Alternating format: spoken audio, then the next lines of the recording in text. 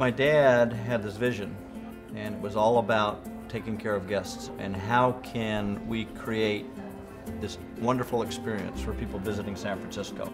He developed Pier 39, and I knew in my blood that I was going to continue the legacy, carrying on my father's vision of taking care of guests, people visiting San Francisco and creating a wonderful experience. And now my oldest son is a manager for us, my oldest daughter works in our marketing department. Simmons family is a much bigger notion than just blood relatives. We have a number of employees that have been with us for 20 plus years. Sandra Fletcher, who is the president of our company now, has been with us for over 20 years. One of our chefs started as a dishwasher for us, and I think he's been with us for over 25 years. Bob Partwright, who has also been with us for 20 years.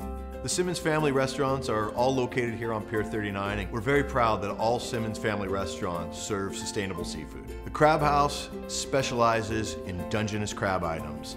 We're famous for our killer crab, roasted Dungeness crab on a skillet with a secret garlic sauce, sizzling shrimp and mussel platters, and many other seafood items. The Pier Market Restaurant has been on Pier 39 since 1983. It's a classic San Francisco waterfront restaurant that specializes in mesquite grilled seafoods and meats. Passers-by can watch us cooking in the window and see items like lobster, salmon, cod, steaks, all being cooked right before their eyes. Wipeout Bar and Grill is a California surf-themed restaurant with menu items that you'd find up and down the coast of California and Baja, like fish tacos, pizzas, burgers, and stir fries. It's a great place to hang out and sit and have a cocktail.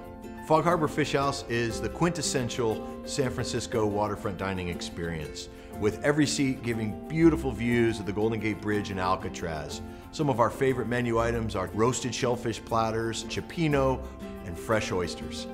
Eagle Cafe is a breakfast and lunch spot that's been on the waterfront here since 1928, serving all the classics, omelets, benedicts, sandwiches, and burgers. The one thing that we strive for every single day is to exceed guests' expectations. From the moment they come in contact with us to the moment they're seated in our restaurant, what the place looks like, the views they get to experience. At each step of the way, our goal is to exceed guest expectations. And my children, I imagine, are going to be here for a lot longer than me, and we hope to be here generations beyond this.